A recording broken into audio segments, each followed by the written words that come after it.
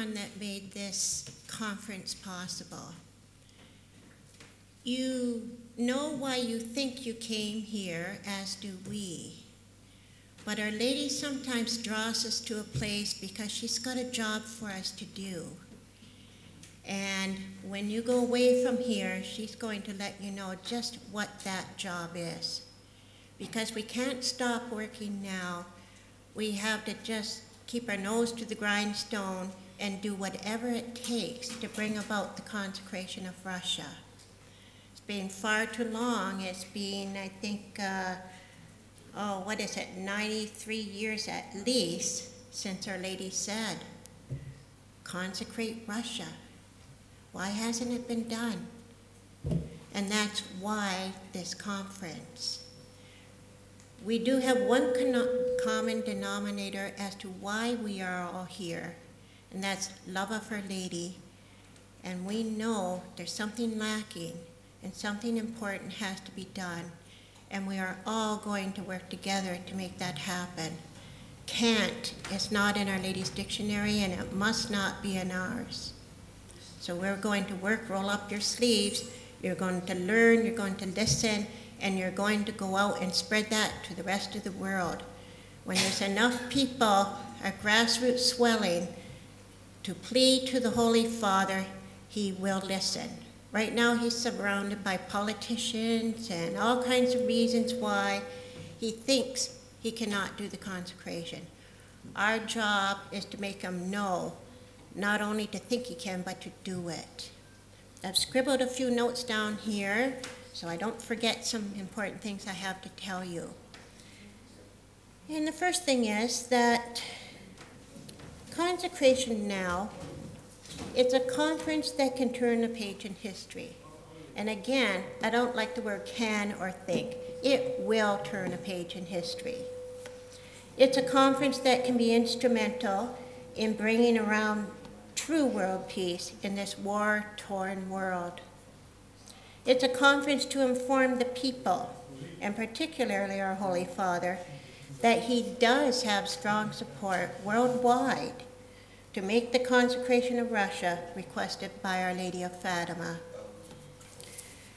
I would like to take just a moment to pay special tribute to those who did make all this possible we have many people worldwide that are our supporters, and they have prayed and they have sacrificed and they have donated. I'm sure you can imagine the expense of bringing a conference such as this to Rome, put it on the World Wide Web and on television.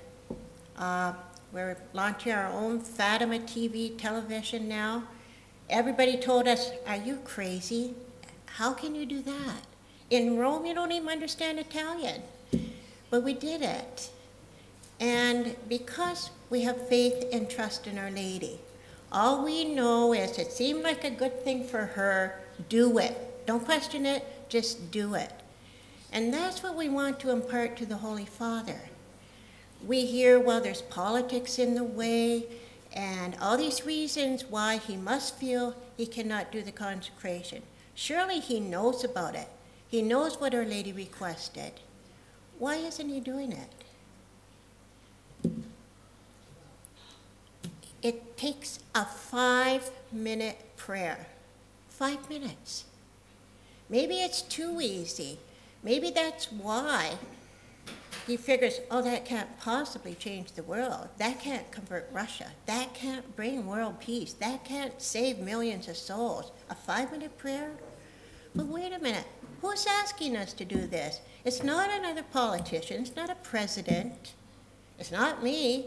It's not even Father Gruner. It's Our Lady. And not only Our Lady, God Himself sent her to give us this message. He gave us a solution through His Holy Mother. Why aren't we doing it? Why aren't we trusting in her? Why isn't the Vatican trusting in her? Forget what the politicians say, it might offend somebody. Or we think maybe it's already done. We didn't follow the formula. If you leave things out of a cake you're making, it's not going to bake. You're not going to have a cake. Who are we to leave world, words out of Our Lady's request The world. Well, we consecrated the world. Well, when you baptize a baby, you don't baptize the world. You want to baptize that baby for a reason. So, how can these people that are so knowledgeable think they can change Our Lady's word? If they change mine, okay, fair game. Maybe I didn't know what I was talking about. But to change Our Lady's words is to change God's words. And I don't think that's a good position to be in. What's more, it's not putting any of us in a good position because we will suffer from either annihilation or enslavement under a regime that is godless. And God knows, will we have the stamina to stand by Christ if they say, if you don't deny Christ, we're going to kill your children, your mother, your grandfather, your loved ones right in front of you. All you have to do is just say, I don't believe in God. Or we think now it's easy for us to stand here and say, oh, not me, I'm not going to deny God. But there are a lot of people that maybe haven't prayed enough or had people praying for them. They're not going to be in that position. They will think they're doing the right thing by denying God to save their brothers and sisters. They won't know better. And those people, those are the souls that are in jeopardy. So every day we lose doing our job and bringing about the fulfillment of Our Lady's requests. Every day, more souls are lost. You see what's happening in the world. Sin is it's run rampant. It's increasing. It's escalating at a at a serious degree. It's it's a frightening degree. The sin around the world. So it's so important. Every minute we lose, more souls are gone. That's why we can't say, well, Our Lady said eventually one day the Immaculate Heart will triumph. We can't wait for that, because if we wait, how many of our brothers and sisters will be in hell watching it? It's not going to do them any good then, it's too late. So we have to act, and we have to act now. I'm reminded too, I hear, we're asking the Holy Father Trust Our Lady. Just trust her. You have the faith of a mustard seed, it's all it takes. Trust her. Just do as she says. God created the stupendous miracle of the sun so we would believe. He knows what we're like. Well, we're kind of skeptical. I, I don't know if I really believe that or not. You can't deny the miracle of the sun, witnessed by over 70,000 people, and cures and the torrential downpour of rain, and immediately after the miracle of the sun, they're not only dry, but the mud they were in when they fell down on their knees, they thought it was the end of the world at the moment. And when they got up, even their clothes were clean. I don't know if before in history there's been such a miracle like that.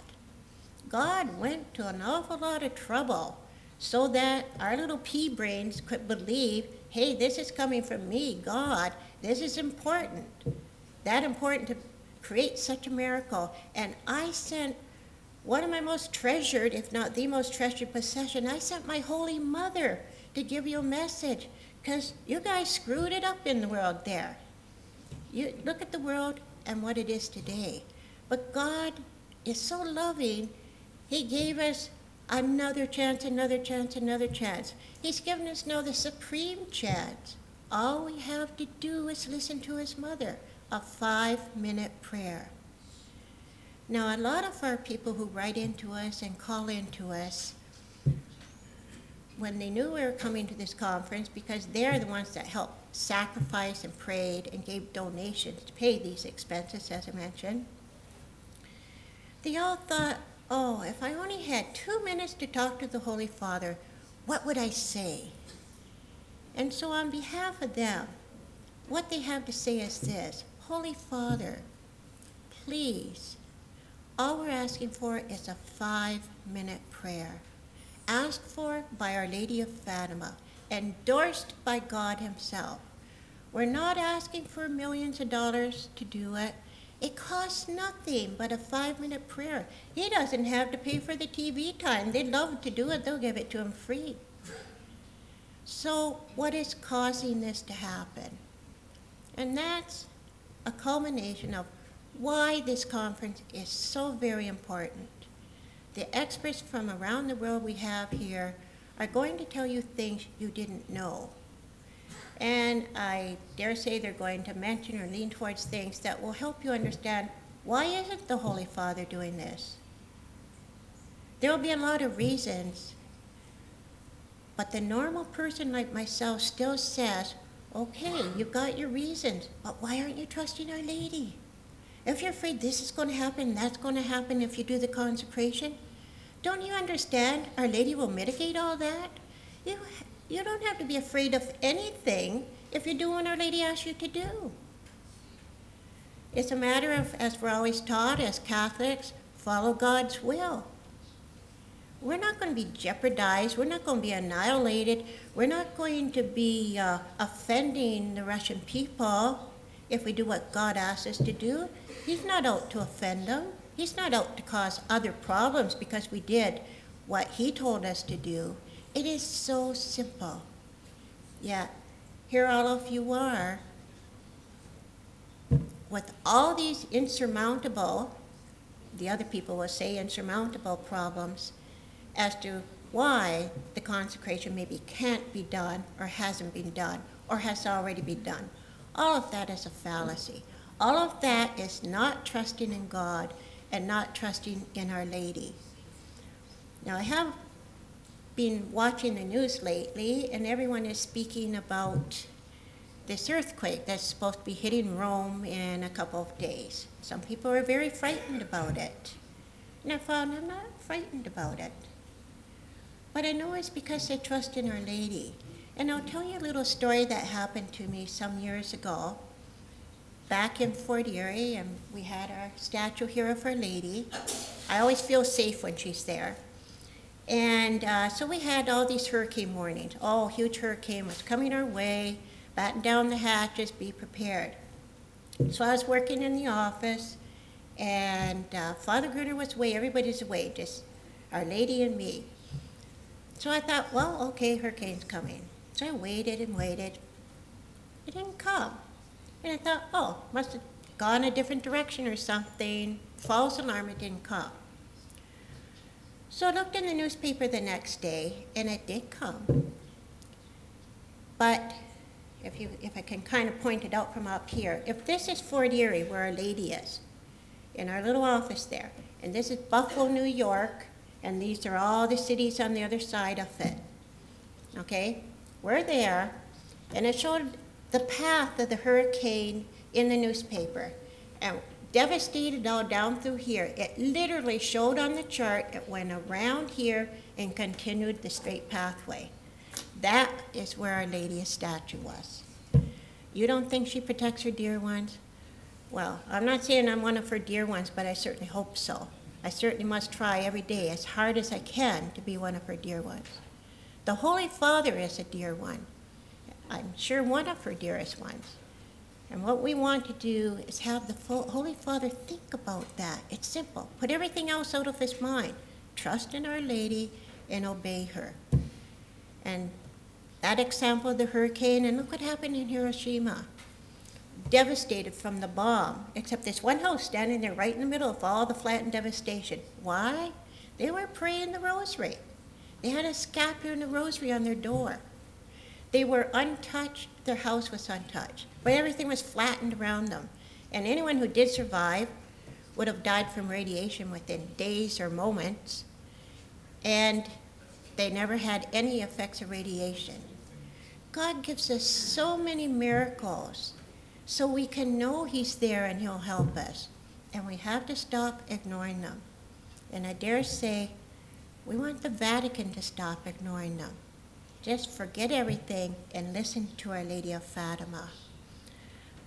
So I leave you now uh, with one more thing is I'd like to pay special tribute to Father Gruner, our leader although I don't use the word can't, it would be almost a can't do if Father Gruner weren't our leader. Most of you who know him know he's given up his whole life for Fatima. He works tire- tirelessly day and night, and uh, without his leadership, certainly we wouldn't have gotten as far as we've gotten. And, uh, excuse me, Also, our workers here, our employees, the volunteers, the workers, they've worked night and day for weeks before we came, weeks here, or days here, I should say. And uh, it's taken everybody together. It's taken you to make it happen, your prayers and your well wishes, and your being here to sort of pick up the flag of Our Lady and carry it forth. I have just a couple of announcements here. Is one of the things we're going to do, as, as I mentioned, we have our own television station now, flagship for Our Lady in Rome. We can put a plea to the Pope every day on that station, 24 hours a day, and we're not going to give up. It's also going to be on the World Wide Web for this conference and on a couple of other television stations, which uh, will be on the posters out there. And a lot of people come up to me and they say, Well, I'd like to express something I wanted to say or some little miracle I experienced to show, have trust in Our Lady. So we will have a video camera set up just outside the room here that you can come and record a two or three minute, perhaps plea to the Holy Father or um, a recount of a little miracle Our Lady has done for you. And if possible, we might have it throughout the conference, it depends on the timing, but we can also show it on our television station. It, it bears witness to the people who don't know about this, they're not sure what to believe. It all helps, hearing about God's little miracles, big miracles, and faith in Our Lady.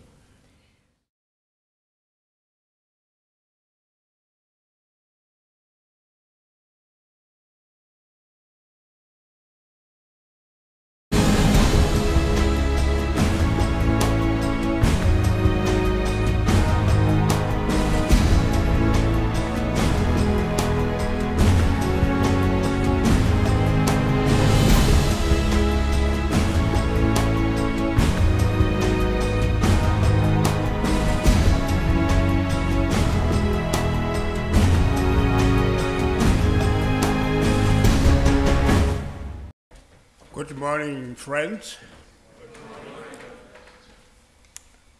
You are really friends, I mean it. And uh, my name is Paul Khoarai, the retired bishop of Lesotho, was ordained bishop, no, consecrated. Since I'm going to speak about the consecration of Russia, was consecrated bishop 4th July 1970. And now I'm a retired bishop, but B is just the same. So this morning, my theme will be mainly on the Russia, the chosen nation. And that choice, Our Lady has indicated how it should be done. And we're going to spend most of the time on that. For the Lord God does nothing without revealing his secret to his servants, the prophets. This is from Prophet Amos chapter 3, verse 7. A bishop is a prophet. Therefore, allow me to lead you into the secrets of God. I want you to know that there's nothing that this world can offer you that can compare to knowing that God exists, that He loves you with a love and he loves with you that with love that nobody can understand.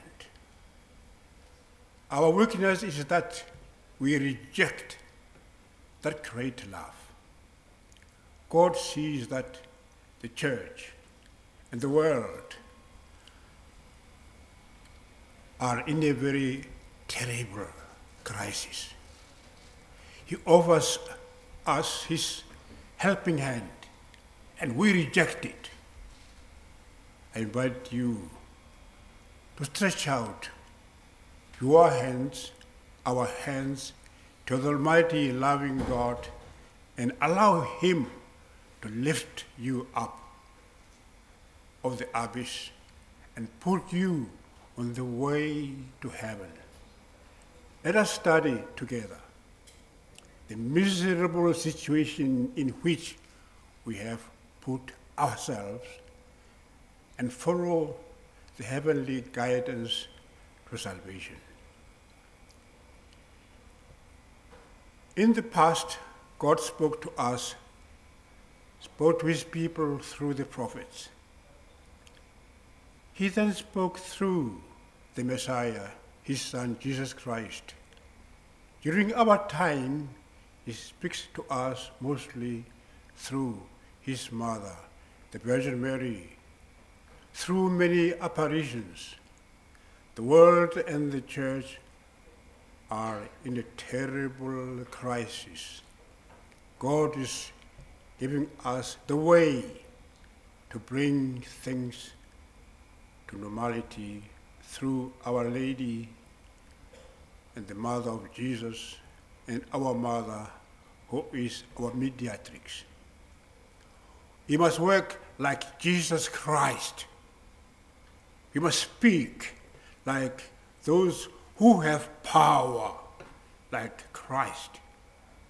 It may be because we do not seem to believe that priests are Christ, the supreme, eternal priest. We must teach the world to take the priest as such, to teach the priest to live as such, like Christ. We must become zealous apostles of the good news.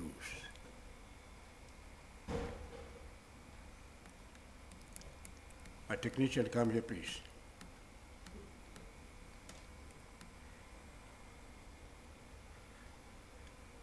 Technician, please.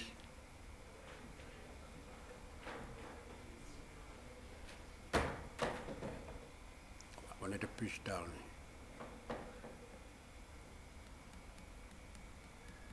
Then uh, God chose St. Paul as his chosen instrument to bring his name to the pagans and pagans' kings. And before the prophet of Israel, we read this from the Acts of the Apostles, chapter 9, verse 15. God has told us through Our Lady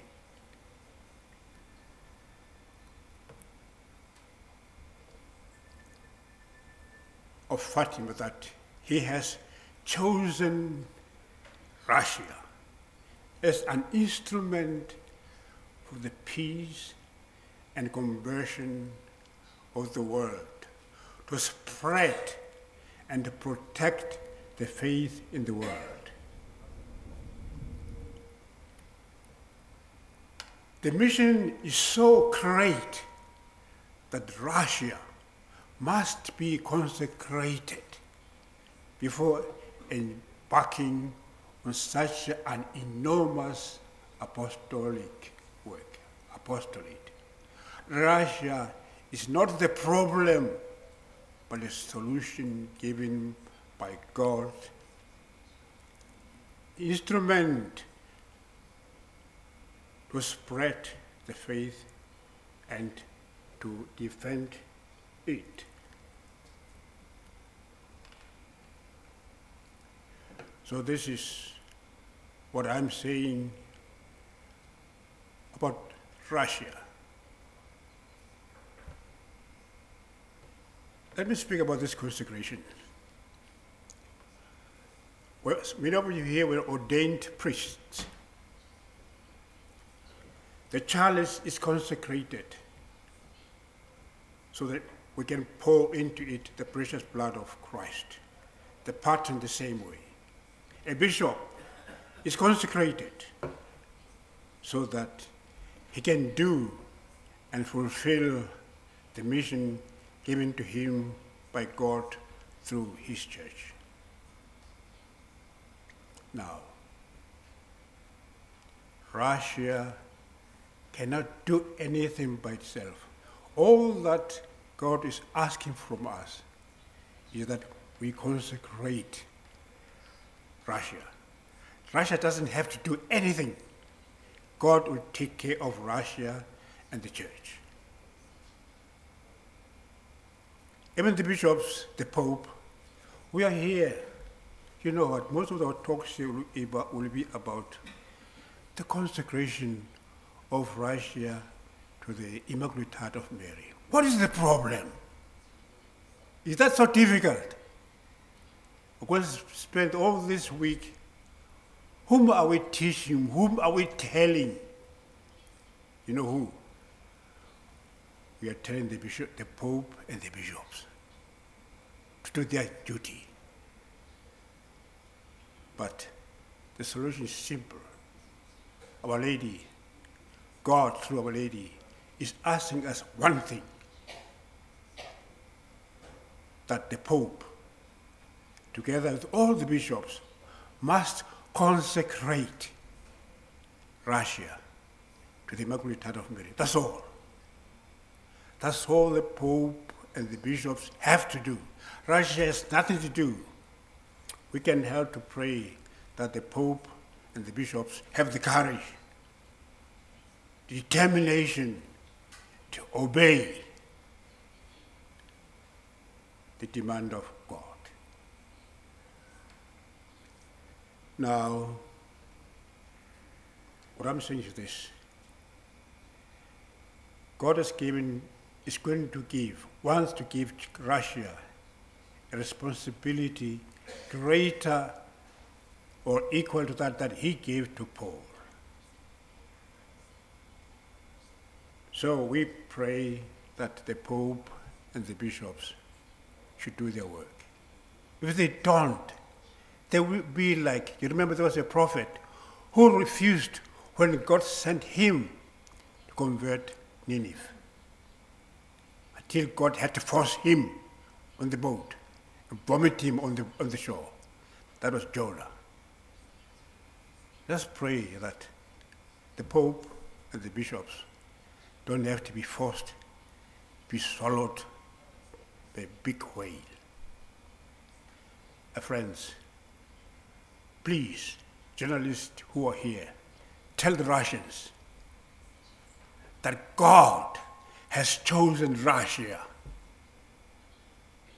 to convert the world and to preserve the faith in the world. They don't have to do anything. All that we need, God should do his work through the Pope and the bishops, that's all. Then the rest, God will take care of Russia. Remember, I'm saying this. There is the work, there is responsibility that God through Mary wants to give to Russia is very great. No ordinary nation can do that.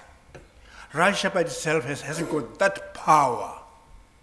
That power will come only through Our Lady, through the consecration of Russia, to the Immaculate Heart of Mary. And he said, she said it. So this is what we are going to work upon these days. Now the situation in which we live is so bad. Now before I finish that, let's say, we, we, we uh, God chose. Paul as his chosen instrument to bring his name to pagans and pagan kings. And before the prophet of Israel, this we read from the Acts of Apostles, verse 15. God has told us through Our Lady of Fatima that He has chosen Russia as an instrument for the peace and the conversion of the world, for to spread and to protect the faith in the world. Is there anything greater than that for Russia? So that's why this mission is so great we have to consecrate. make Russia fit to accomplish such a great mission in the world and in the church. Now, let me come to you about the situation in which we are. There's a big talk these days about the new world order. The new world order is empire, empire of the devil. The rulers of the world, rulers of great, strong nations, work for the creation of the new world order. And they don't hide it. The presidents of the United States said it openly. The Americans who, who are here, look at the back of your one note dollar. At the back of that dollar is written New World Order in Latin. It is written. Go and look at it. At the back, below the pyramid, there is New World Order in Latin. You don't know what it is. But they don't hide it. The President of the United States and other people, they say they work not for the United States, but for the New World Order. But you don't know what that means. That means new empire of the devil. What does that mean? It means there'll be one government, one monetary system, and one religion. Let's speak about the government. Europe has one European Parliament in Strasbourg in France.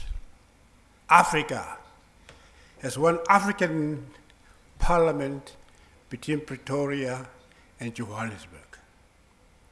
So these continental parliaments are coming up. So in the future, there will be no American parliament. There will be not, not United States Parliament, Northern American Parliament, then the World Parliament. All the nations are going to lose their supremacy. Then let's come to the uh, power. You may not be aware, the world already has an international Supreme Court in The Hague, in Holland, the Netherlands. The Africans, you have President Taylor there. Bosnia, you have the former president of uh, Bosnia and so on, who has hidden himself for 10 years, but is now arrested. That court is above any other court in the world. Actually, the Lloyd King to arrest the president of Sudan. They're going to do it. Three politicians of, of Kenya are actually in The Hague. So that court has more power than any other court in the world. Now let's come to the money. In Europe, the mighty Deutsche Mark is gone. We have euro. We have one central bank. And you know, in the world, we, we already have the World Bank and IMF. Who control the world money? When the euro problem, IMF has to be involved to solve that problem. So the money, there'll be one monetary system, then religion. There will be no Muslims, no Protestants, but one religion. All these three will form part of one government, one empire, governed, ruled by one person, not God, but the devil. And the story is that the headquarters will be in, in, in Jerusalem. So the devil is working, and they don't make it, they don't hide it. Just, they, I don't know what happens. They make us not to understand what's going on. Doesn't matter how educated you are. We don't understand what's going on. So this is the religion, there'll be one religion.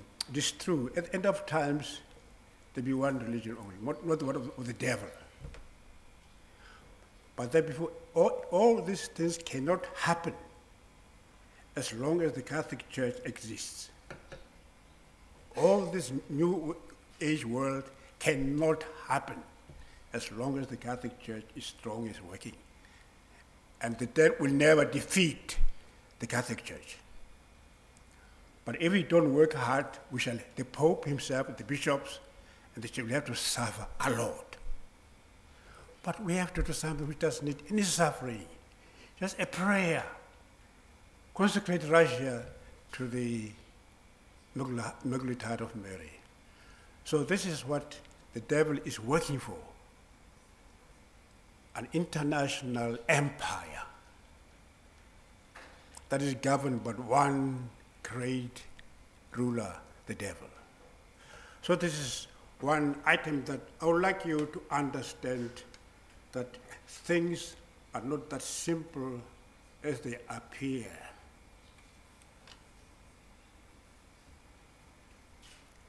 So this is the situation in which, in which we are. I want you to understand we are in a very terrible, now coming back. In 1917, when Our Lady appeared to the three children of Fatima, the First World War was on, raised by the Germans. Then Our Lady came in 19, June 1929 to ask for the consecration of Russia, not Germany. He knew that the 1914 war, First World War, was on account of the Germans, and she knew and she had foretold that the Second World War would be coming and be started by the Germans. But she did not ask for the consecration of Germany. Do you know why? The, the German situation is immaterial, immaterial situation. But the Russians, a spiritual fight a spiritual fight. Germany was nothing.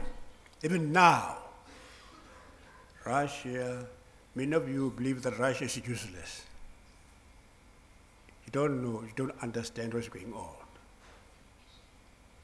That's why Our Lady is still insisting that we must consecrate Russia to the Immaculate Heart of Mary. Unless we do that, nothing good is going to happen. But through the mighty power of God, it will happen. Time will come when the Pope and the Bishop will have suffered enough. And they will say, let's go down to Our Lady. Let us consecrate Russia to, our, to the Immaculate Heart of Mary.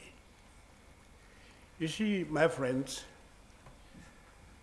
I, I went to the Vatican tell, tell, speaking about this, some of the situations I'm mentioning to you. In 19, 2009, I visited the Vatican with my team. One of my teams is in here. Three times in March, June, and November. Tell them the same story, the crisis in which the world and the church are. So I visited 43 cardinals and archbishops. Finally, some of them were converted.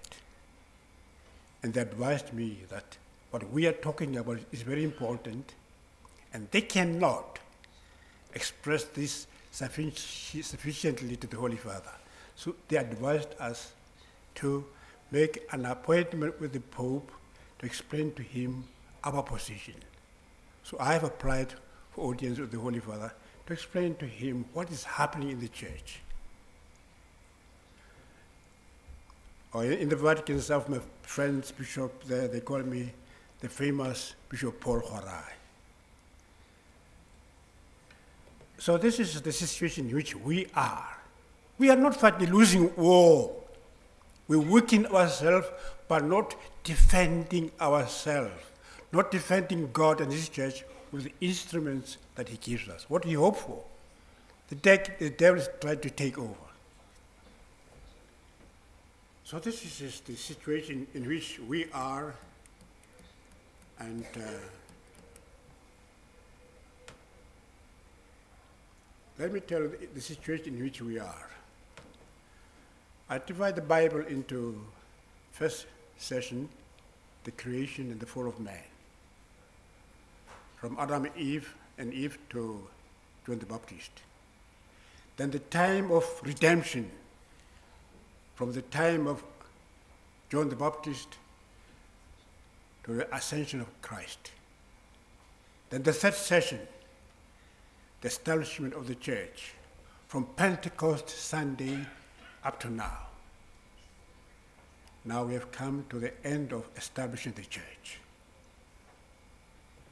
going forward to the next world. We have been given enough time.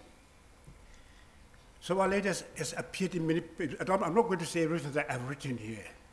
I'll give you one example. If you could read the message of Our Lady of La Salette, in France, you'll be terrified. Our Lady of La speaks everything.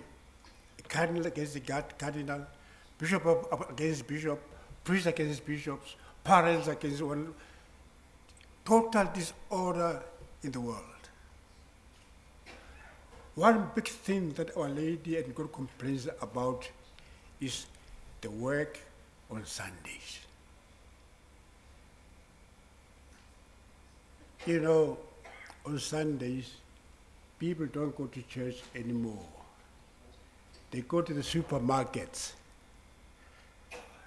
to offer sacrifice to their God, the devil. On Sundays, then one little officer says, God says, I gave you six days to work for yourselves. And I asked just for one day. And you cannot give me that one day. Why not?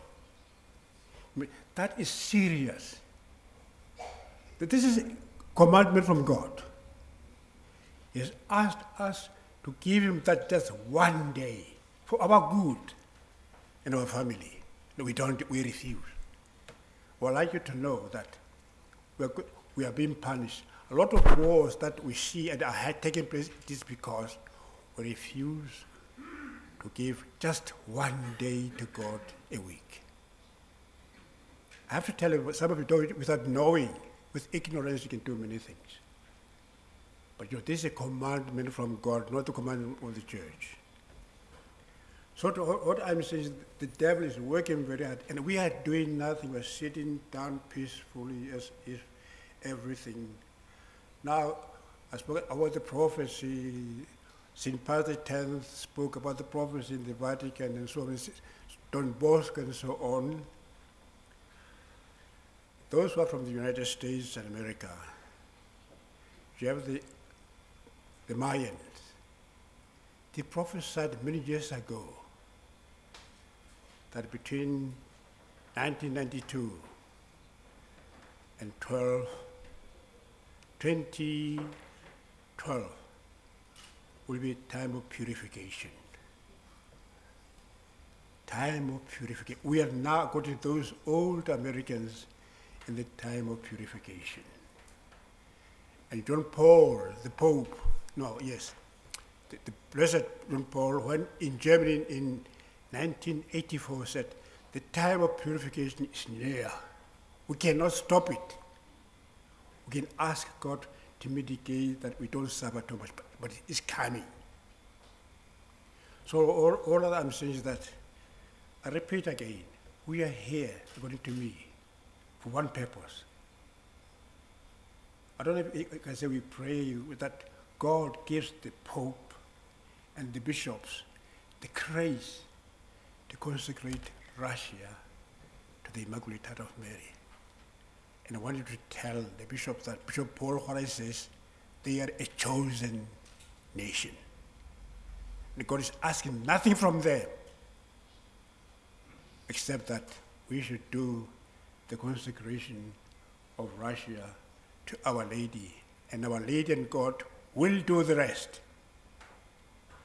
This is, uh, see, the theme of my talk to you. There may be many other things that we can talk about, but for me, I, I'm aware that we speak so much about the uh,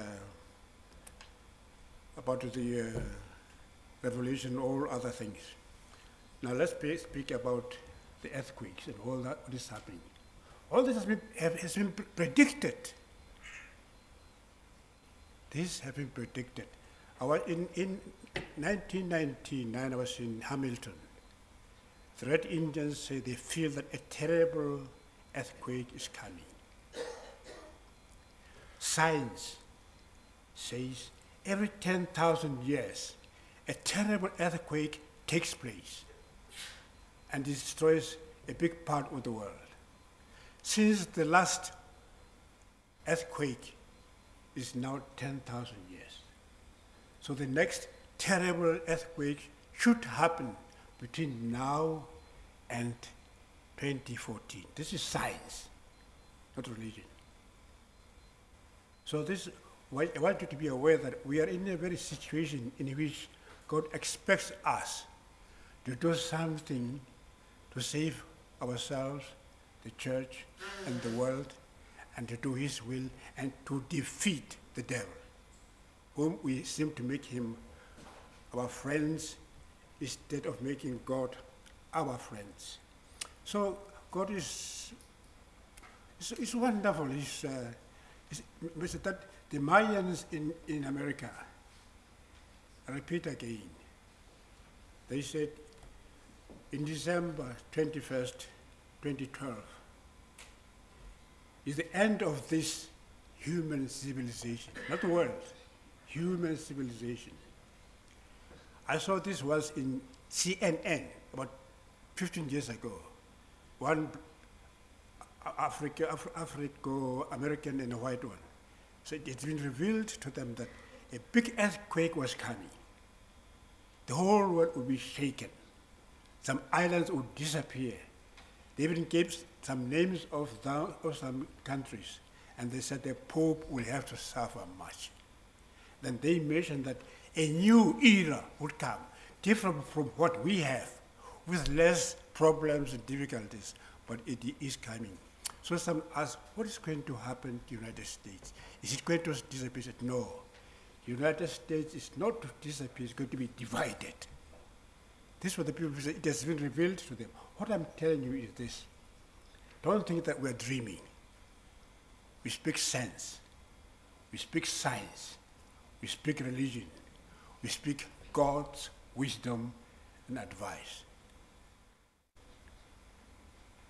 So this is uh, the situation in which we find ourselves. And as I mentioned to you, that there are a lot of prophecies that have been, some saints prayed and wished that they could be alive during this our times because it will be, be a difficult, different world altogether.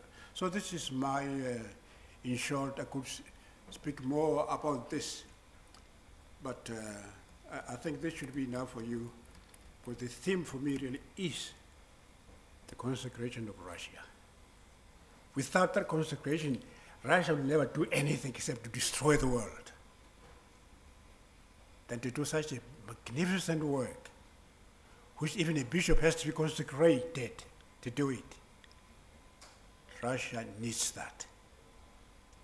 If things don't turn around, around well, don't blame anybody. Blame yourselves, the Pope, and we, the bishops. Because we refuse. I know there's some French people here. In 1931, Jesus said, the Pope and the bishops refused to obey the commandments of my mother. They will suffer than the King of France, Louis XIV. The French know. Christ asked Margaret God to ask the King to consecrate France into the secret heart of Jesus. The politicians told the king, this is not this is a church, Your Majesty. You are not a church, you are a government. live out all these dreams of the church. 100 years after exactly the French Revolution took place. The king was imprisoned, then he remembered what Christ has asked. He wanted to do something, it was too late. Then the French Revolution came. They all decapitated. There are no more kings, got no, no more kings in France because the king and his advisors refused to obey Christ. Confidentially, I know that John Paul II, John Paul II tried his best to accomplish this, but he could not. He wanted to. You know, bishops and the pope are not that free because you have to consult our people. If, so all I'm telling you that some bishops tried to do to accomplish this, but we have to accomplish. We have to use the people we have at our service.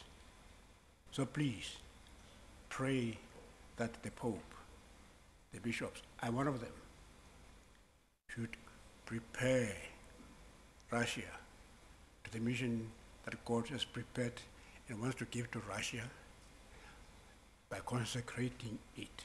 There's no other thing. Without that consecration, Russia is not going to do anything good except destruction. So I repeat, you journalists, tell them that black bishop there said, God has chosen Russia to save the world and the church. In the history, we read that Russia was once a great nation in religion. Those who don't know, even now, Russia pretends to be weak. It is not that weak. Those who know geopolitics, Russia is not that weak. They pretend to be very weak. So, with these words, I'm saying, please pray and pray for me that I should persevere to do this work. I'll, I'll tell many people at home, they say, you bishop, why are you alone speaking about these things? Other bishops don't say all these, these dreams that you're talking about. So I don't know what the others are doing, but I'm doing what my God tells me to do. And I'll do it. I know that I'm right. So with this, I just encourage you to pray. All you can do is nothing. You can you can consecrate Russia, but the Pope and the bishop can do it. And pray also that my intention, my application to speak with the Pope becomes a reality because I'm going to speak with the Pope about the ideas of the salvation of the world. So, this is my welcoming speech on this occasion and be optimistic that God is going to use you to make you instruments. You know, you're not here by yourselves. If God did not want, you would not be here. I was in, on Monday, I was in hospital. I came out only on Friday. The doctors had given hope that I would come here. But I was stubborn as usual. I said, I cannot neglect my mother and my, my God. I came. Here I am. I'm better than at home. Because I'm at home with Christ, Mary, Peter, and Paul. So with this well, Father, Father Nicholas Gruner, my friend, keep it up. Know that if you do well, the, Satan, the devil will fight you. All of you fight till the end. May God bless you all. In the name of the Father, of the Son, and the Holy Spirit.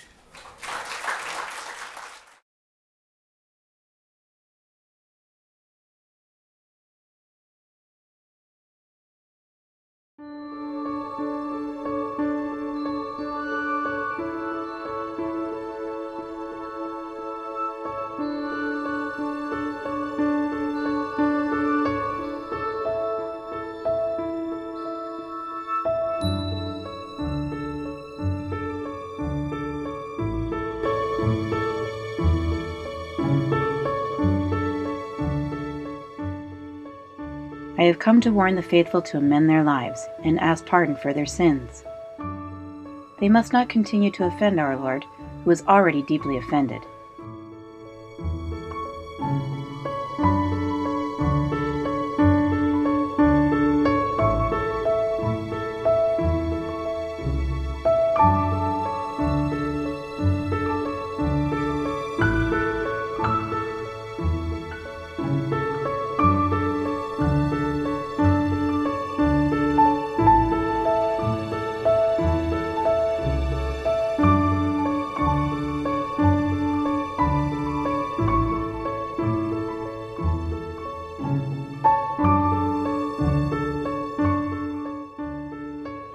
Vision on October 13, 1917,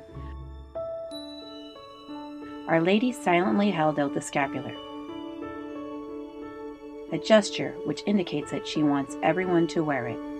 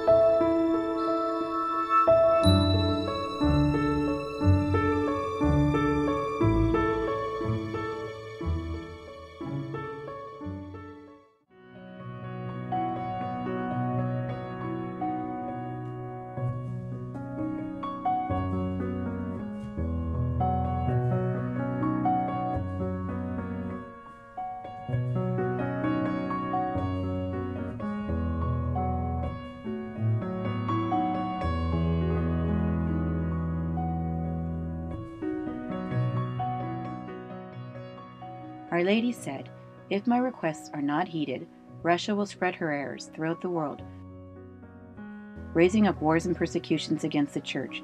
The good will be martyred,